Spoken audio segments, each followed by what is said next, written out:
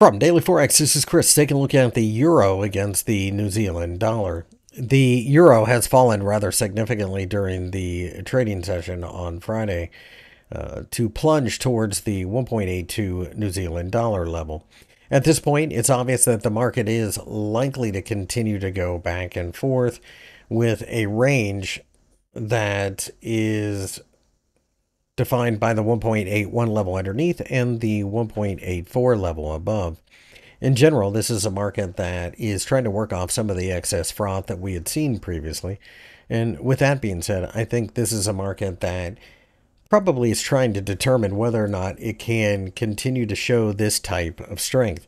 After all, when markets do move as sharply to the upside as we have just seen, it does make quite a bit of sense that they have to digest some of the gains. Ultimately, as long as we can stay above the 1.80 level, then I think you have a real shot at this market going higher over the longer term. That being said, central banks around the world, including in the European Union and New Zealand, are in the midst of cutting rates, and therefore it's all a race to the bottom. Remember, you are trading relative strength against each other, not necessarily that you believe in one economy over the other.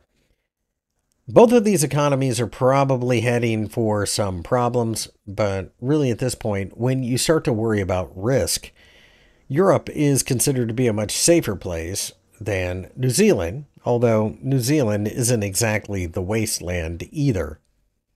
That being said, I think we continue to range bound trade until we finally get some type of fundamental reason to break out. Right now, it does not appear we have it. Thank you